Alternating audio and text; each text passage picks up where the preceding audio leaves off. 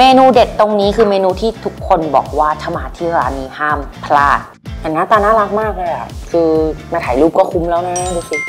ขนมสุดฮิตคือบราวนี่ของคนอื่น ผสมกับตะโก้ไทยของเรา กลายเป็นตะโก้บราวนี่ที่อร่อยมากครับ